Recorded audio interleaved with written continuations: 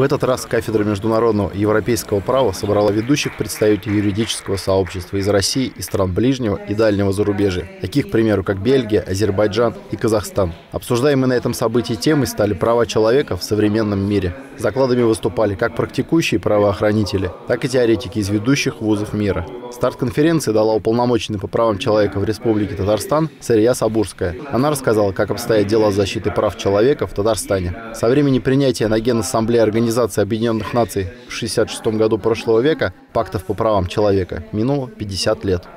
И вот этот 50-летний юбилей – это в определенном э, смысле повод для подведения некоторых итогов а, в сфере международной защиты прав человека, а осмысления тех проблем, которые существуют на сегодняшний день, в том числе с точки зрения соблюдения прав человека, тех международных стандартов, которые закреплены в этих международных актах, и о практике конкретных государств в сфере э, судебной защиты прав человека, конкретных механизмов этой защиты. Поэтому, вот, наверное, этим вопросам прежде всего посвящена сегодняшняя конференция.